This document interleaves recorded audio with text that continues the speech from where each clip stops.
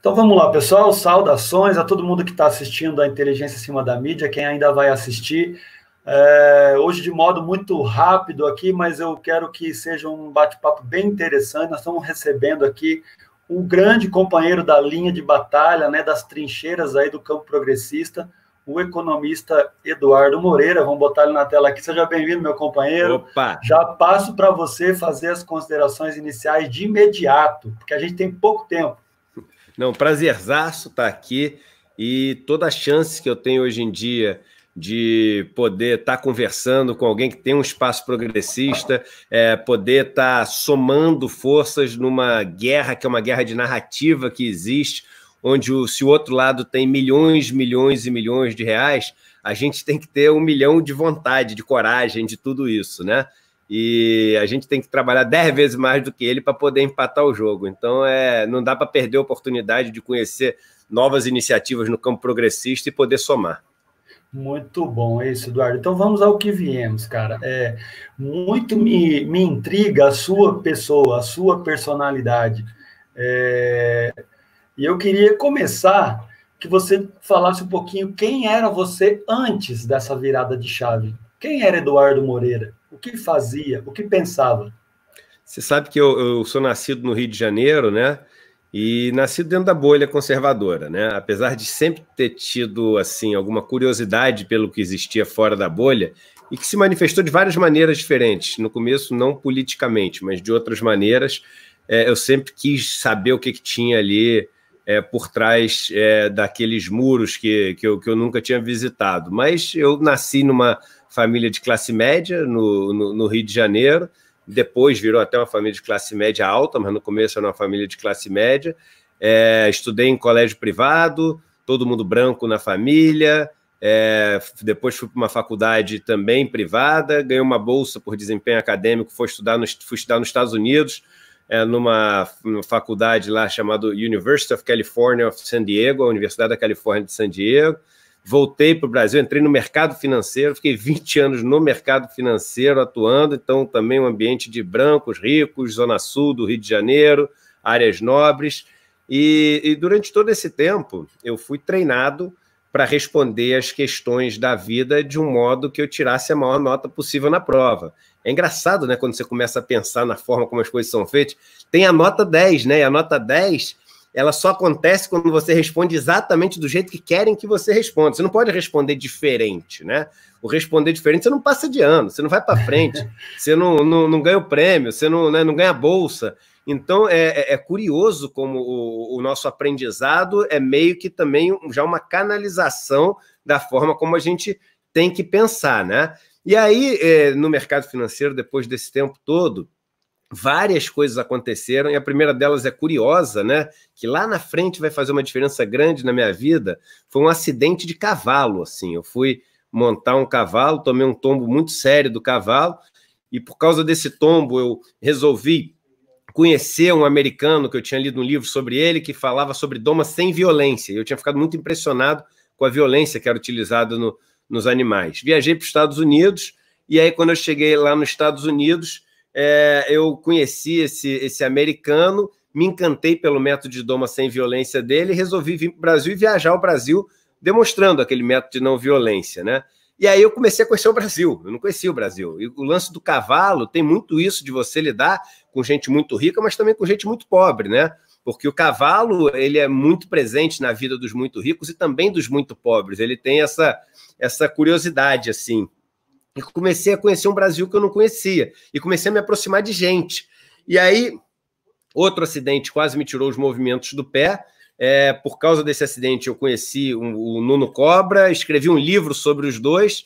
E aí, por causa desse livro, né, o livro ficou virou o livro mais vendido do Brasil, e eu comecei a dar muita palestra. E como era um livro meio que motivacional, assim, isso fez com que muitas pessoas se aproximassem de mim e abrissem os problemas que elas tinham da vida, porque elas se sentiam quase que íntimas depois de ler ali o livro. E aí esse negócio foi me aproximando das pessoas, me aproximando do, do sofrimento delas, me tornando um cara mais compassivo, me tornando um cara mais empático. E aí, no. É, a pessoa a Margarida falando do Encantador de Cavalos. Esse cara é o cara que inspirou o filme Encantador de Cavalos, esse americano, Monty Roberts. E aí outros acidentes, outras coisas aconteceram, acidentes no sentido de coisas que eu não esperava e no sentido de acidente físico também aconteceram na minha vida, até que um deles, já mais recentemente, né, é, me quase me tirou a vida, assim, teve um erro médico numa cirurgia que eu ia fazer, e aí eu fui, fui internado lá no Sírio Libanês, em São Paulo, hospital mais luxuoso, talvez um dos melhores hospitais do mundo. E aí, naquele momento que eu estava lá, o rapaz que trabalha é, comigo lá na minha casa, e é o caseiro lá, lá, lá, da casa onde eu moro. A filha dele, de 12 anos, teve um problema de apendicite. E era, era, na verdade, suspeita, no final nem era apendicite, mas teve uma suspeita de apendicite. Ele me ligou para o hospital, eu estava lá quase morrendo, à base de morfina, etc. E falou: Poxa, Eduardo, acho que eu não vou conseguir vir amanhã trabalhar, não sei o que. Eu falei: Cara, se manda, vai cuidar da tua filha. Prioridade, pô, família é 100% prioridade. Eu, eu me viro aqui, pode deixar que tá tranquilo. E aí no dia seguinte liguei para ele para saber como é que ele estava. E aí ele, ele falou: não, não, minha filha não foi atendida ainda. Falei, como assim não foi atendida? Você chegou ontem no hospital, é, ela está com crise, isso pode matar. Mas você voltou para casa, o cara te examinou e falou: não, ela está na maca ainda aqui e eu estou sentado desde ontem aqui na cadeira. E aquilo me deixou absolutamente perplexo. Assim, eu liguei no dia seguinte e nada. Ela foi atendida no quarto dia era uma inflamação na trompa, acabou é, curando, mas aquilo me machucou muito no momento que eu estava no hospital de muito sofrimento. Você para muito para pensar nas coisas, o que, que elas estão acontecendo, né? É, por que, que as coisas são daquele jeito. E eu comecei a me perguntar por que, que eu tenho direito a estar nesse hospital com um monte de enfermeiro, com um monte de enfermeira, com um monte de médico, TV de plasma, ar-condicionado, aperta um botão, aparece gente aqui. E, pô, esse cara que é um cara é, que trabalha mais do que eu, acorda mais cedo, vai dormir mais tarde, que ama os filhos tanto quanto eu amo os meus, não tem direito a oferecer isso para os filhos dele. Por quê, né? Aliás, quem é que está pagando isso aqui? Porque eu não vou gastar um centavo aqui. Eu vou chegar no final, assinar um, um, papel aqui e vou voltar para casa. Aí eu falei, pô, quem está pagando é meu plano de saúde. Falei, mas quem paga meu plano de saúde? Falei, pô, é minha empresa. Eu falei, mas quem paga? É a minha empresa ou é o cliente da minha empresa quando compra os produtos da minha empresa? Eu falei, puta, é o cliente da minha empresa. E aí eu falei, mas quem é o cliente da minha empresa? e um dos clientes da minha empresa era esse meu caseiro. E aí, quando eu fiz o caminho, eu me lembro até hoje do estalo que me deu assim. Falei, caramba, o, o, o essa, esse grupo, essas pessoas a quem eu nego o mínimo de dignidade são as que bancam o meu luxo com o trabalho delas. E comecei a fazer o caminho do dinheiro no hospital, ainda em tudo, na educação, na saúde, nos tributos. E de repente eu consegui ver aquilo que eu nunca tinha visto, em mais de 40 anos de vida e mais de 20 anos de mercado financeiro. Consegui, eu brinco, ver a Matrix, né? Então eu consegui ver é, da onde que vinha, para onde que ia a riqueza e a grande máquina de desigualdade que existia. E comecei a estudar desigualdade. E comecei a estudar desigualdade, escrevi um primeiro livro. Quando eu escrevi o primeiro livro, é, eu fui tirado da sociedade, do banco onde eu trabalhava, porque eles disseram que ou eu ia publicar o livro ou eu continuava na sociedade. O nome do livro é O que os donos do poder não querem que você saiba. E aí eu saí da, da, da sociedade e resolvi estudar desigualdade. Num certo ponto da desigualdade, é, eu cheguei e falei o seguinte: os livros só vão me levar até um certo lugar. Eu preciso conhecer e sofrer um pouco disso na prática. A palavra compaixão vem de compartilhar o sofrimento, né? E aí eu já tinha ficado muito amigo do Gessé de Souza, que ficou um, um irmãozão meu. E aí eu falei, cara, eu quero conhecer o MST. Falei, pô, porque você gosta do MST? Eu falei, não, pelo contrário, tem um preconceito enorme em relação. Eu acho Eduardo, que os caras são terroristas. Diga. Só, só para contribuir, assim, é um pouco da minha curiosidade com a sua pessoa, né, com, com a, o, a, o ser humano Eduardo Moreira, tem a ver com o MST também. Eu sou professor de assentamento do MST Olha que legal. Ah, vai, fazer, vai fazer dois anos esse ano que eu trabalho em assentamento da MST. E eu posso dizer que mudou minha vida, cara. Trabalhar dentro do assentamento e ter contato diário, porque eu trabalho o dia inteiro. Chego lá às sete e meia, saio de lá às seis da tarde. Mudou a minha vida. E até era a próxima pergunta que eu ia fazer para você. Dessas suas experiências, porque eu sei por alto, por outras entrevistas que eu assisti de você, dessas experiências em comunidades isoladas, em acampamentos, assentamentos da MST, em outros lugares, mas você já estava entrando meio por conta mesmo isso. Era isso que eu queria saber. É, aí, porque aí aconteceu, aí eu cheguei para o GSE e falei, eu quero conhecer, porque eu tenho um preconceito enorme em relação a esses caras, e vejo lá, às vezes, as tendas que eles põem, que invadiram a fazenda, mataram o gado, queimaram tudo, né? Que é o que aparece na televisão. Falei, então eu quero conhecer. Que realidade é essa que eu sempre aprendi a criticar na vida, aprendi a odiar, aprendi a, a falar mal e etc. E ele falou, cara, eu te apresento o Stedley aqui. E aí apresentou o Stedley, ele foi mega simpático, receptivo, cordial. E aí eu combinei com ele de fazer uma viagem para morar é, algumas semanas em acampamentos e conhecer, e trabalhar com eles, dormir com eles, viajar com eles. E aí fui para os é, acampamentos e assentamentos do interior do Paraná e fiquei, assim, foi a viagem que mudou minha vida, assim. Fiquei absolutamente encantado, maravilhado. Eu fui recebido com o maior acolhimento do mundo. Eu vi uma organização que eu não sabia que existia, eu vi uma solidariedade entre as pessoas, eu vi uma capacidade de transformação das pessoas e do ambiente em torno delas num prazo muito mais curto de tempo é, que eu podia imaginar. E, e aquele negócio, eu falei, caramba, mas vem cá, ninguém sabe disso, como é que pode? 2 milhões de pessoas quase envolvidas com, com o movimento, como é que gente, eles podem esconder um negócio assim tão grande, tão importante, tão bonito debaixo do tapete? E eu resolvi é, me converter numa voz para aquilo que não era ouvido, principalmente dentro da bolha de onde eu tinha saído. E resolvi dedicar minha vida a ser essa voz. E aí eu pedi para o João Pedro me ajudar e comecei a fazer outras viagens. E aí comecei, e aí outras. É, outros grupos começaram a me ajudar. Educafro me ajudou muito com o Frei Davi, me apresentando outros grupos, e comecei a conhecer os quilombos, comecei a conhecer as aldeias indígenas é, que vivem hoje em dia um, um, extermínio, né? Em alguns lugares do Brasil, uma situação que é genocida que a gente não tem ideia que acontece. Quando eu digo a gente, a maior parte do Brasil é, não tem ideia, que não aparece em lugar nenhum. É, visitei outros acampamentos do MST, visitei a Seca do Nordeste, já morei em 21 comunidades, eu acho, a última vez que eu tinha feito a conta. E, e, assim, e o que eu aprendi de economia nesses lugares foi muito mais do que eu aprendi na vida inteira, assim, porque lá você vê acontecendo na prática. Você não tem que é, tirar 10, né? Porque na prática ali é o seguinte: as coisas têm que dar certo. Se não der certo, a turma morre. Não tem gabarito no negócio. O gabarito é a vida. O gabarito é as coisas acontecerem e funcionarem, né? Então, assim, foi uma experiência absolutamente maravilhosa.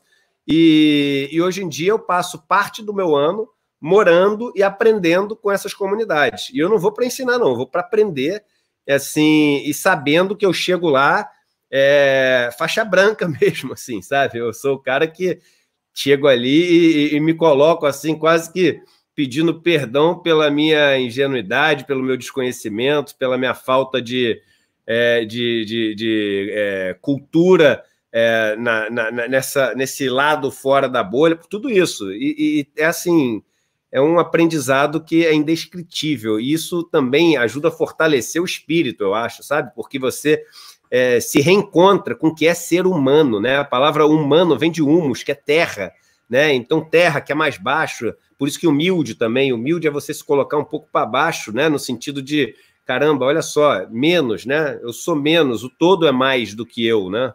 Há um dia desses atrás, semana passada, eu fiz uma entrevista aqui com um dos dirigentes é, estaduais do MST, um, não sei se você conhece, Roberto Baggio. É, e... muito amigo. É, ele é um cara fantástico, é, como, que é, como diria o Gramsci, é o intelectual orgânico né, da coisa. E, e a gente falava na ocasião da solidariedade do MST a partir daquele ato que eles fizeram de doação de alimentos no Brasil todo, né? E aqui no Paraná foi 43 toneladas de alimento que Uau. saíram inclusive das comunidades onde eu trabalho aqui, que eu conheço o pessoal, é um pessoal humildíssimo, demais mesmo, muito humildes. É um cara que produz lá 100 quilos de mandioca e doou 10 é. para fazer o movimento. Do, colhe três sacos de milho, do, doou um. Então, é, é, é, aqui que eu queria te provocar. O contato com essas comunidades, é, é esse aprendizado que você diz que é muito grande, eu acredito, que é assim mesmo, por conta de ter um contato mais próximo com essas comunidades, é, é, para mim, para mim parece que a solidariedade é um, é um cimento entre esse pessoal, entre essa turma. O que, que você fala para mim de, de, desse aspecto, principalmente no MST, o elemento solidariedade, que é tão ausente em algumas camadas mais abastadas da sociedade? Veja bem, Edmilson, quando a gente é, quando a gente forma verdadeiramente um grupo, né? A força do grupo é a força da parcela mais frágil, é a força da parcela mais frágil desse grupo, e não da parcela mais forte desse grupo. É muito parecido com uma corrente. Se você pega uma corrente e tenta levantar alguma coisa, é, ela vai estourar no elo mais fraco. Você pode ter 10 elos de titânio e um elo de papel que você não levanta nada nessa corrente.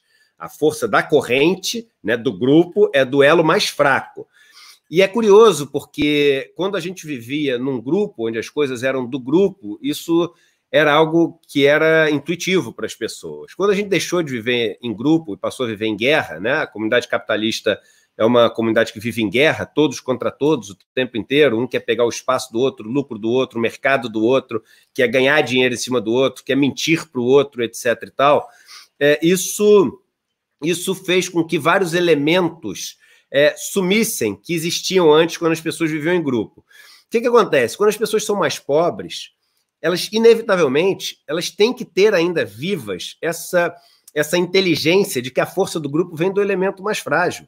Né? Então, ninguém pode estar muito fraco num grupo, senão o grupo também está fraco. Então, quando você olha no MST, é, e em vários outros lugares é, que eu visitei também, fora do MST, mas que viviam com essa necessidade da força da comunidade, da força do grupo, eles estão sempre procurando quem, vem cá, quem está passando o sufoco, quem está com fome, quem não tem sentido, né? É, você sabia, eu vou te contar uma história que eu nunca falei nessas conversas aqui, que é o seguinte: é, uma vez, antes de ter essa virada de vida, não sei o quê, eu tive uma lição, cara, num quilombo que eu visitei é, lá, na, lá em, perto da Chapada dos Veadeiros. E eu fui ainda banco de investimento, etc. Tinha ido lá para ver as cachoeiras. E a gente foi dentro de um quilombo para ir né, numa cachoeira, nos, visitar lá os calungas, né? E, e aí, quando eu cheguei lá, eu comecei a conversar com a moça e falei, mas vem cá, como é que é? Vocês usam dinheiro aqui dentro? Não, a gente até tem, mas não usa praticamente dinheiro. A gente aqui, as coisas, um ajuda o outro, etc. Eu falei, mas como é que funciona? Vocês trocam as coisas? Trocamos, trocamos. Eu falei, por exemplo, se você tem é, muito de uma mandioca e o teu vizinho está é, tá precisando de mandioca, você vai lá e troca com ele? Ela falou, não entendi. Eu falei, como assim não entendi? Você tem muito de mandioca, seu vizinho está precisando muito de mandioca, você não vai lá e troca com ele? Eu falei, não, não entendi. Eu repeti umas três vezes, eu falei, vem cá, você tem muito de mandioca, teu vizinho tá precisando muito de mandioca, o que, que você faz? Ela falou, eu dou a mandioca para ele. E eu falei, caraca, olha como a minha cabeça nunca aprendeu a pensar assim, olha como eu tinha perdido a minha solidariedade, eu tinha perdido meu lado humano. Veja bem, se é um grupo, como é que eu vou deixar alguém do meu grupo passar necessidade? Não posso deixar, é do meu grupo, porque se o meu grupo estiver fraco, eu estou fraco. E é por isso que eu digo, a gente perdeu o sentimento de grupo. A gente não vive mais numa nação. Quando você sai na rua e tem uma pessoa na, passando frio, passando fome, quase morrendo, e você nem olha, me diga, Magrão, o que que essa pessoa tem que você pode dizer que ela é do seu grupo? Me diz uma coisa que faz ela ser do seu grupo. Nada. Absolutamente nada.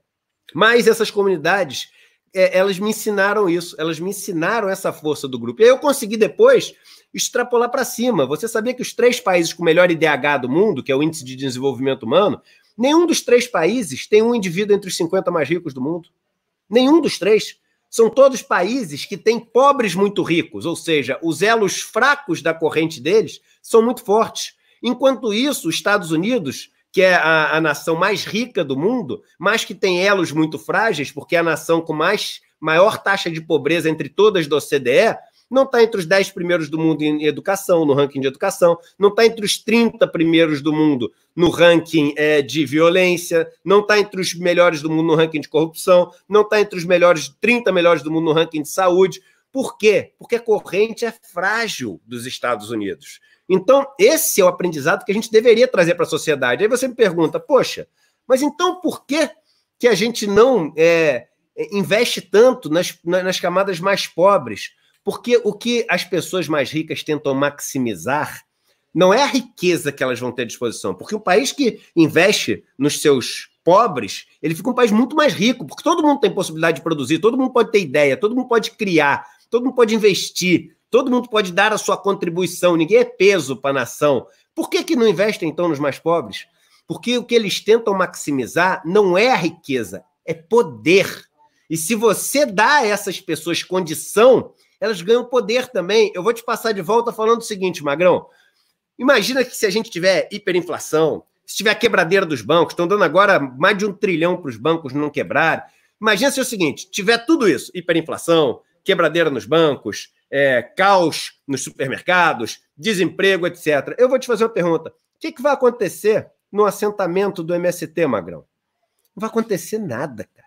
Não vai acontecer nada. Lá as pessoas podem ensinar uma para as outras. As pessoas, no, no sufoco, elas têm ali o que elas precisam de comer. Elas têm a criação, elas têm a mandioca, elas têm o alface, tem a água que elas recuperam os mananciais, recuperam os riachos, recuperam tudo. Então, olha, olha por que, que o MST incomoda tanto. Ele incomoda tanto porque ele dá às pessoas a independência. E aí a provocação é a seguinte: eles falam que o modelo liberal é o que traz as liberdades para as pessoas.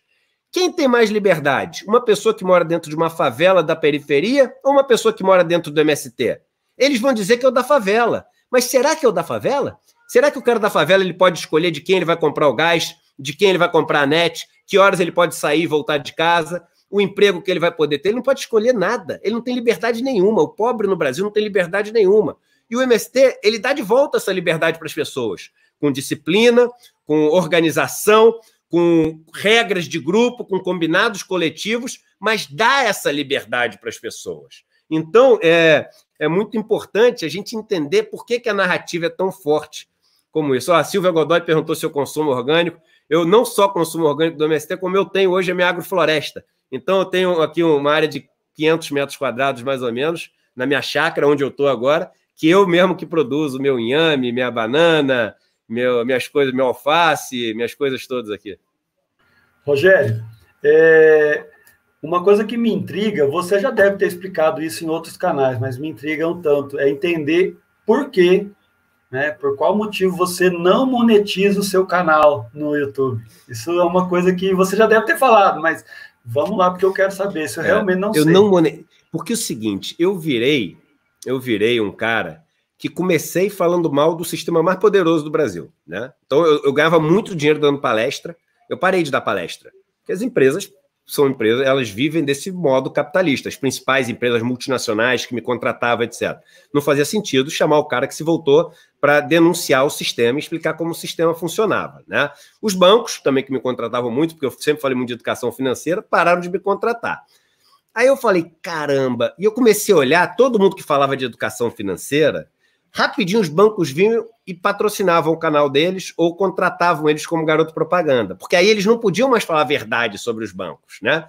Aí o que, que eu resolvi fazer? Eu falei, calma aí, eu acho que eu consigo montar uma estrutura para dar cursos explicando como é que funciona né, todo esse mundo das finanças, explicando, meu, não é como você vai ficar rico, mas como é que funciona? O que, que é um fundo?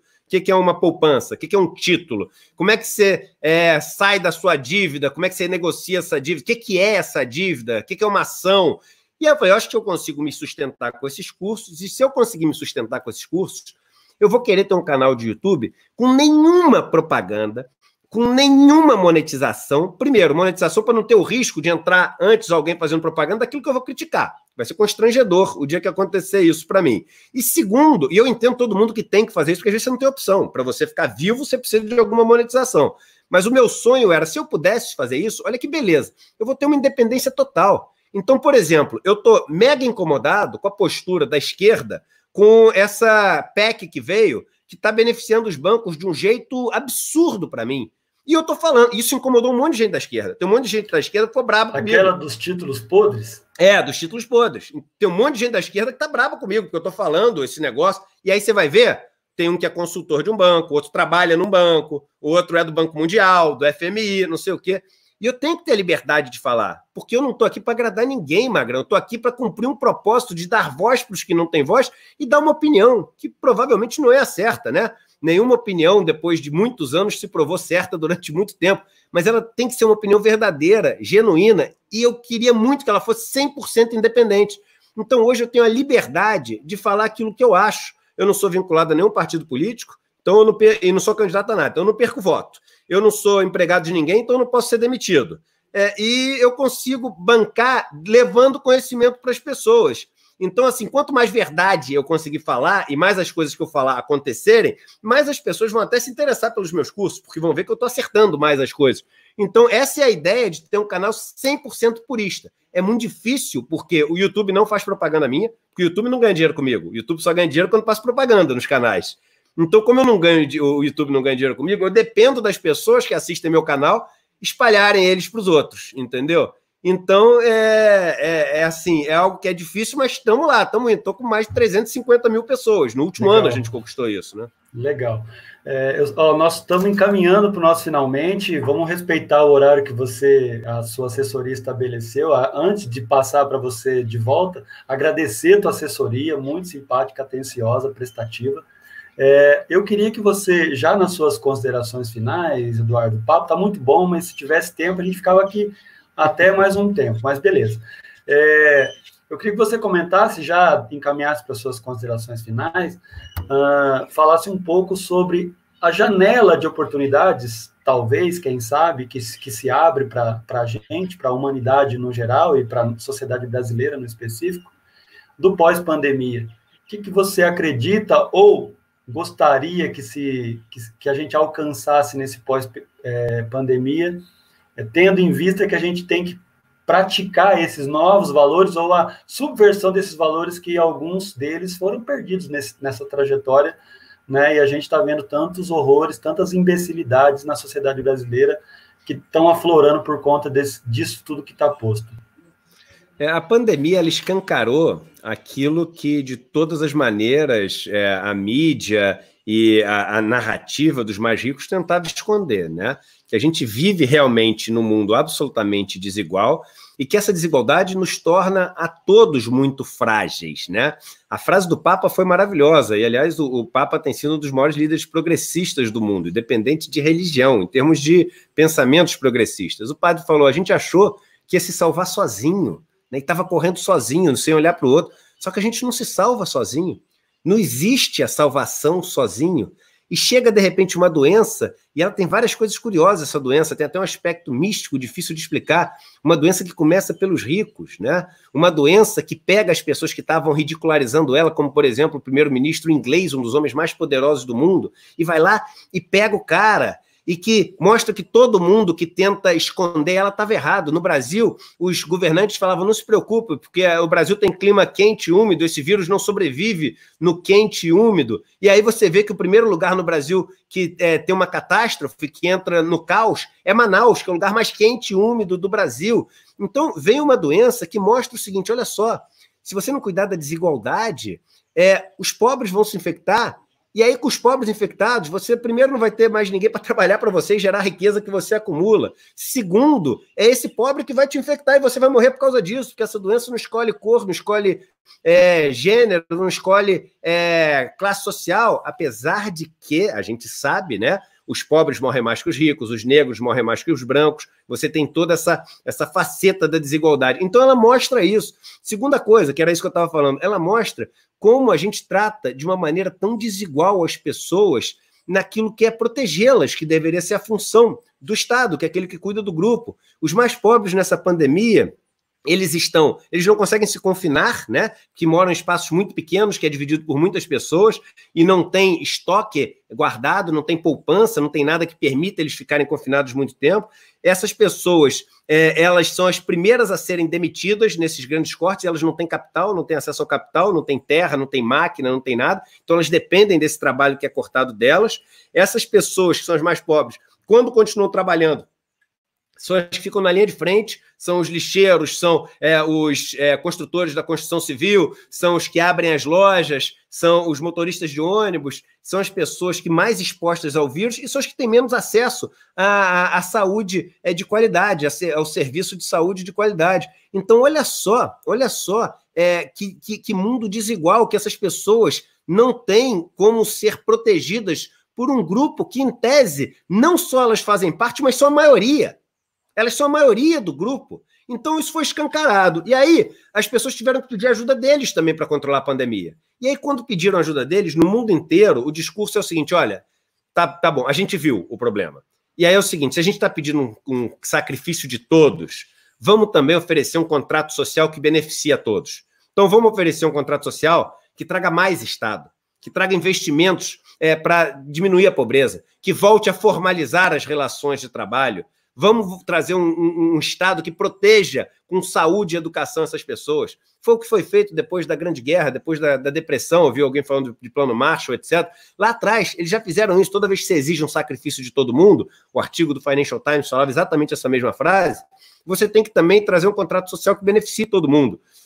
Então, o mundo inteiro fazendo isso. Um dos únicos países do mundo que estão remando para o outro lado é o Brasil.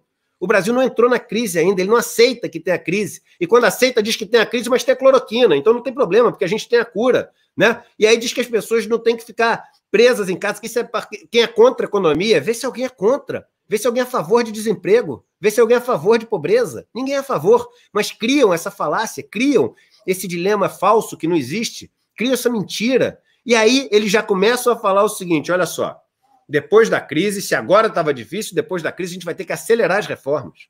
A gente vai ter que acelerar as privatizações. Reformas que, desde lá de trás, têm colocado o povo pobre do Brasil de joelhos, como refém.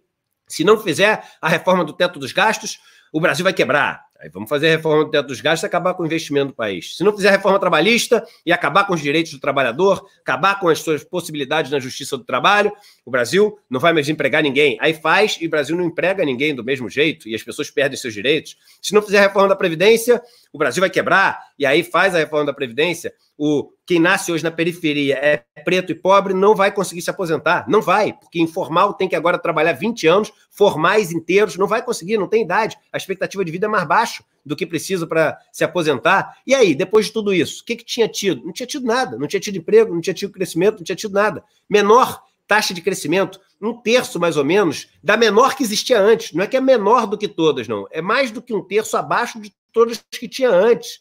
E aí? E aí? E aí, o que a gente vai fazer? Vai continuar com essas reformas? O governo já falou que não só quer continuar, como quer acelerar. Então, o Brasil está indo na contramão do mundo. E aí, o ponto é o seguinte: até que ponto isso vai durar? Esse governo ele tem uma força muito grande é, no, no, discurso moral, né? Então, você tem é, muitas igrejas aqui, é, pentecostais, principalmente, suportando o discurso moral, apoiando o discurso moral do governo, e aqui não tem nenhuma crítica à religião A ou B, eu sou a favor da total liberdade religiosa das pessoas, mas o, o ponto é que o, o, apoio do governo não vem em cima de, de medidas que ele está tomando que são para a população mais pobre, não vem em cima de medidas que ele está é, tá tomando que são medidas que visam o crescimento, vem 100% em cima de uma agenda moral. E não é sustentável no longo prazo um negócio desse. E aí, ou cai o governo ou cai a nossa liberdade. O grande problema é que está pendendo para o lado de cair nossa liberdade, mas a gente não pode parar de lutar. Se a gente parar de lutar, é sinal de que o governo conseguiu mudar a gente. Pode ser até que a gente não mude ele, mas se a gente parar de lutar, é sinal de que ele mudou a gente. Eduardo, muito obrigado. Chegamos no nosso tempo, passamos dois minutinhos já não do combinado, problema. mas quero agradecer demais a tua a tua prestatividade, está pronto para conversar com a população, os pequenos canais, alguém comentou aqui que bom ver você nos pequenos canais, então é, é um pouco dessa gratidão que a gente tem com uma pessoa que tem tanto para ensinar para a gente, é, obrigado, obrigado mesmo, e o canal fica à disposição, qualquer conteúdo que você oh, quiser legal, disponibilizar, cara. a gente é pequenininho, mas a gente vai capilarizando as informações que são necessárias, assim. Muito obrigado. Não existe o pequeno, meu irmão. Somos é. um mosaico, só, só, só, existimos com todos se compondo, né? Não existe o pequeno nem o grande, existe o mosaico. Beleza. Obrigado a todo mundo que assistiu e até a próxima. Valeu, gente. Valeu, meu irmão. Um abraço.